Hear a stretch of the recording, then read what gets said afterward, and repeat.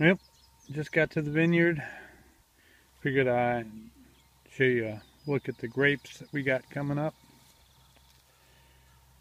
Just a random row. I think this is Merlot. See all the fruit popping out? Peaberry size. Vines are looking healthy. Look down the row. All nice and neat and tucked in we have wires for you know helping to keep the vines the uh, laterals in. We got a lower wire well this is the uh, this is the fruit wire here. This this is the first wire where we tuck in the first settle you know the laterals at one stage of growth second wire for the third next stage of growth and the top wire. So they're all tucked in. They're going to need to be hedged from the top at some point and as they grow out on the sides. But we've got plenty of fruit. Just looking at it all, it's just like tons of fruit, tons of grapes. Tons of grapes coming up.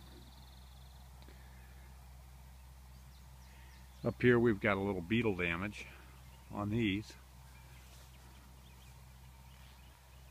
See some of the leaves, you know, have holes in them.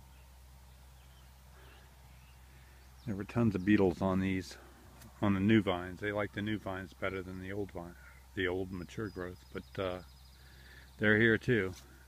We sprayed for them. I don't know that he sprayed in this vineyard. Some, some uh, people just say let the beetles do the hedging for you, but uh, we like to kill off the beetles. But God, look at all the fruit. Just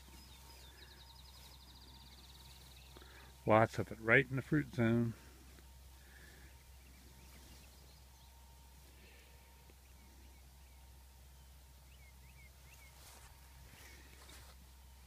You see right in here. Look at all that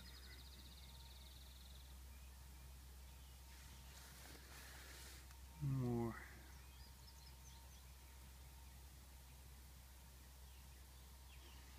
Just on and on and on. So you just sort of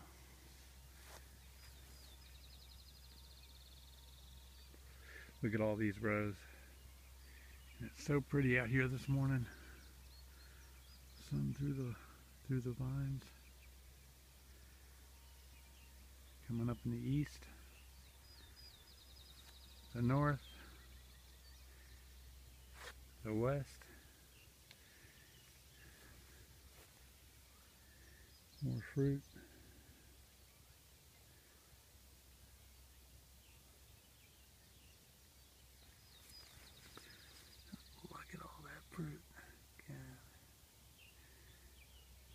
going to a good year if nothing happens.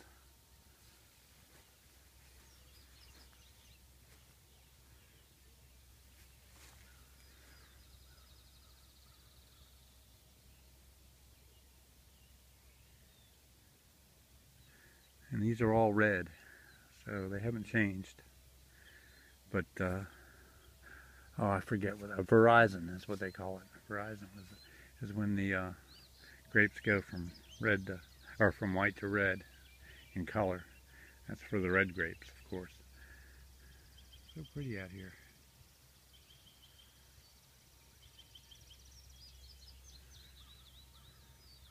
Anyways, you know, just another quick little look, four minutes worth. See you guys later.